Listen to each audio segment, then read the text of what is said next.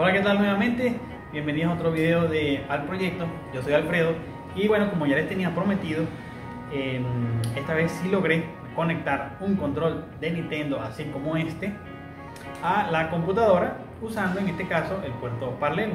Y si quieren saber cómo lo hice, pues los invito a ver el video.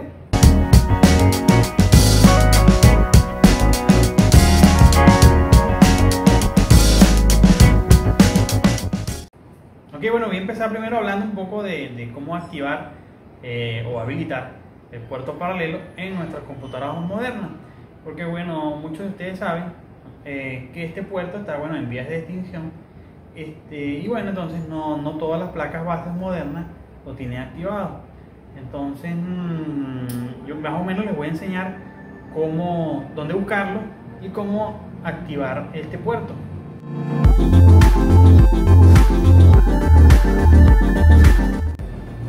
Muy bien, entonces lo primero que tienen que buscar en nuestra placa base es si tiene un conector de 25 pines, normalmente de color azul, ¿verdad? Que dice en una leyenda, dice o eh, JPRIM o eh.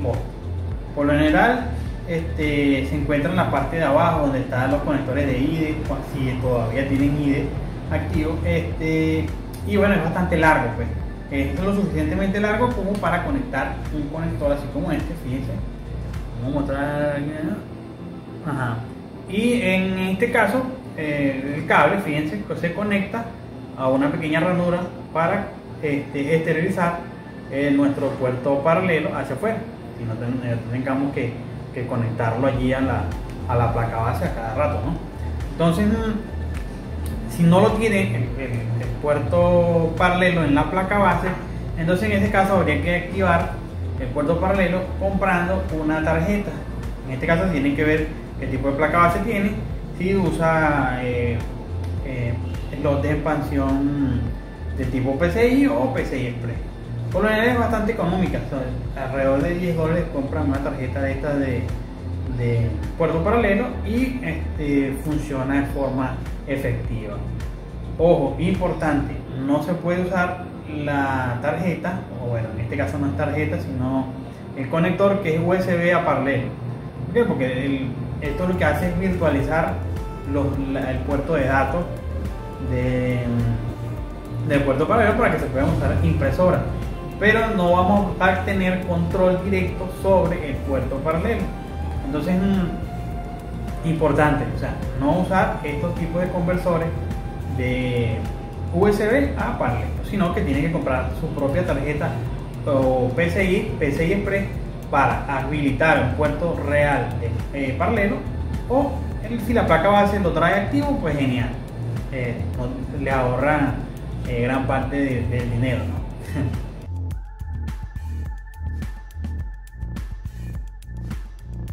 ok, bueno, muy bien, ya tenemos entonces el puerto paralelo activo, pero solo en hardware. Ahora necesitamos acceder a él de manera programática. Entonces, ¿cómo, cómo lo logramos? Por lo general necesitamos instalar un, controlador. Porque ya antes ¿verdad? En los sistemas operativos podíamos escribir directamente sobre el puerto. Pero hoy en día, con el asunto de del kernel, de la seguridad, de la capa del sistema y todo esto, no se puede acceder directamente a él, sino mediante un controlador. El controlador que voy a usar entonces es el muy popular Input en su versión 32 y en su versión de 64 bits, por supuesto. Y bueno, yo también me, me aseguré, antes de hacerles esta prueba, pues revisarlo, pues si funcionaba bien en Windows 7 y si funcionaba bien en Windows 10 para ambos eh, versiones, tanto 64 como para 32 y las pruebas fueron efectivas. Así que bueno, ya teniendo un poco ya de esto listo, ya habilitado nuestro puerto paralelo, el hardware y software, vamos entonces a enseñarles ahora cómo hacer la, la conexión de nuestro control.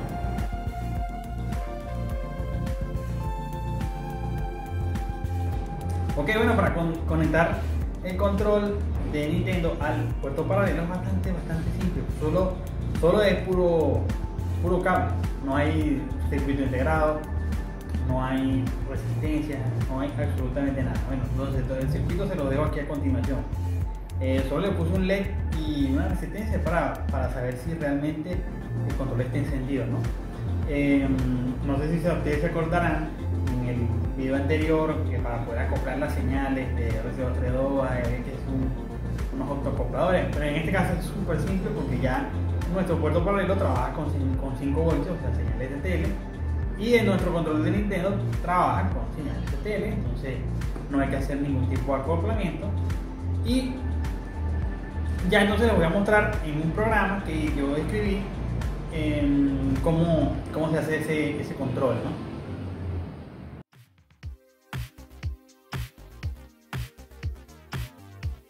Bueno, antes de ejecutar el programa, él necesita ciertos requerimientos. Uno de ellos es, como les mencionaba anteriormente, un controlador de puerto paralelo. Y bueno, ya yo tenía algo de eso aquí ya preparado.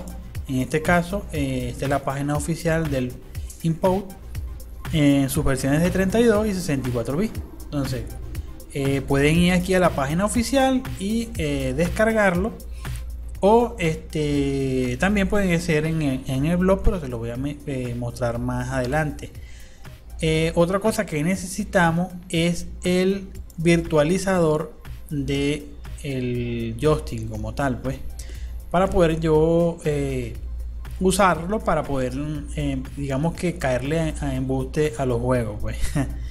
Eh, este virtualizador se llama Belljoy. Entonces pueden eh, descargar, dependiendo de la versión de Windows que tengan, el 10 o el, la versión 7. Aunque para yo lo ejecuté el de para Windows Vista, o sea, el, o el Legacy y funcionó perfectamente en Windows 10. Pero de todas formas, bueno, ustedes descargan la, versión que se adapte mejor a su sistema operativo. Ok, eh, y finalmente, como les había mencionado, aquí en el blog eh, proyecto, ya yo preparé este pequeño artículo, donde yo explico más o menos eh, un resumen de más o menos lo que hablo aquí en el video, de cómo buscar el puerto paralelo, qué necesitamos, eh, el circuito que les mencionaba y lo que les dije del software necesario para que funcione. En este caso, si le dan aquí, eh, descargan el paquete completo ya listo para instalar. Cuando lo descarguen, se va a ver algo así como esto. Fíjense, primero que van a ejecutar es la carpeta requerido. O sea, descomprimen todo primero. Luego ejecutan el BJOY, el setup, eh, instalan y para eh, instalar lo que es el controlador del puerto paralelo eh, se van aquí a donde dice Win32 y donde dice Install Driver y entonces doble clic allí se le va a instalar todo el driver dependiendo de su sistema operativo será automático si es 64 o 32 y bueno con eso están listos ya para ejecutar el programa que se encuentra justamente acá Em, hay dos compilaciones, una para 32 y una para 64. Ustedes escogen la de su sistema operativo. Y entonces eso es todo lo que necesitan para ejecutar el programa NES Control de puerto paralelo. Muy bien, y aquí ya tengo la aplicación abierta, una que yo escribí para el control del Nintendo. Y aquí abajo tengo lo que es mi circuito, ¿no? O sea, ya cableé el puerto paralelo, fíjense que solo puro cable.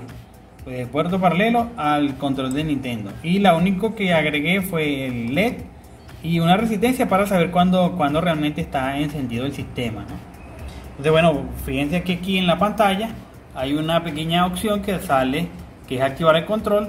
Cuando yo la piso aquí, se me enciende el LED. ¿Ve? Entonces en este caso ya yo sé que el control está encendido. Ok, fíjense que ahora cuando yo piso este, este botón, fíjense que se activa. Y cuando piso el botón B, se activa el B. Igual que para estar y el select y las flechas, ¿no? Las direccionales, ¿no? Fíjense que lo genial es que el puerto paralelo es extraordinariamente rápido. Vio velocidades de hasta 100 nanosegundos, o sea, es bastante, bastante rápido. Ok, muy bien. Una vez que yo tengo ya el, el todo lo, el controlador del puerto paralelo y el controlador del, del activo. Aquí en esta se, ve se ve si está bien todo, todo funcionando. El cuerpo operando y el, control del joystick está también operando. Si le faltó alguna instalación, pues allí te va a decir que debes instalar un programa. De todas maneras, todo lo dejé bien organizadito en abajo en la descripción del video. Hay un pequeño enlace de descarga y allí bueno em, descargan todo el pack completo para que solo tengan que hacer clic y instalar todo eso. Es facilito, no, no lleva ni, ni, dos minutos instalar todas las aplicaciones. Ajá, em, bueno, ya que tengo ya eh, el sistema ya listo, eh, activo mi control, entonces ya lo tengo operativo acá, vean, fíjense que ya funciona. Si no, si no hay comunicación, por supuesto no voy a ver cuando pise los botones, no voy a ver eh, cambios en el control que tenemos acá. Y bueno, yo no voy a seguir más hablando, aquí ya tengo ya un programa, en este caso un, emulador de, NES. Y bueno, eh, ya tengo cargado este juego popular. Y fíjense que ya lo tengo entonces activo. Vamos a jugar un ratito. Y eh, empezamos a estar aquí para jugar de un jugador. Y fíjense que funciona extraordinariamente bien. En este caso. Ok, entonces en este caso fíjense que eh, ya tengo aquí. Ah, perdí. el, el hongo, ¿no? Pero fíjense que funciona súper rápido. No hay ningún tipo de problema. Me mataron. Lo que estoy explicándole. No, es que soy tan malo en, Mario. Pero entonces fíjense que ya está mejor jugarlo en el. Súper malo jugando esto. Pero bueno, ya lo que quería era explicarles entonces que sí, que sí funciona correctamente este, a alta velocidad. Y bueno, los invito entonces a, que, a, que, a que hagan este montaje y, se diviertan un ratito eh, jugando estos juegos viejos en las computadoras modernas. Y bueno, como ya vieron, por eso es que es tan popular utilizar el puerto paralelo para este tipo de proyectos electrónicos.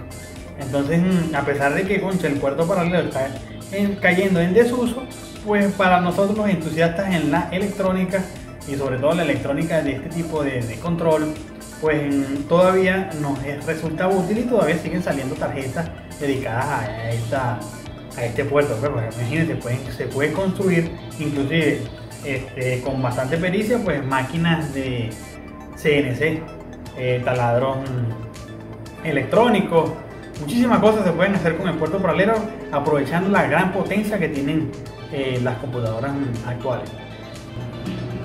Y bueno, esto ha sido todo en el video del día de hoy. Espero que les haya gustado. Espero también que lo monten, ya que lo estudien. Acuérdense que el código fuente está abajo en la descripción del video. Van a Biblog y ahí está todo. están los ejecutables solos y también está el ejecutable con los códigos fuentes para que puedan estudiarlo. Está en Visual Basic, eh, en el punto .NET por supuesto, para que, es mucho más, más entendible ¿no? de utilizar. Em, todo está empaquetadito, nada más para que lo descargan, instalan y si tienen el, Visual Studio, pues este, abren el proyecto y lo van a poder depurar, lo van a poder aprender bastante sencillo. No, no no me enrollé mucho en ese tipo de cosas. ¿no? Eh, acuérdense entonces, cualquier tipo de pregunta, por favor me lo dejan abajo en los comentarios. Si quiere algún otro tipo de proyectos basados en puerto paralelo, que a mejor no, he terminado de realizar, pues me avisan. Y si cometí algún tipo de error, pues también me pueden decir abajo en los comentarios. Y bueno, nada, entonces mm, no me queda más de otra que despedirme. Y nos vemos entonces en un próximo video. 아니야.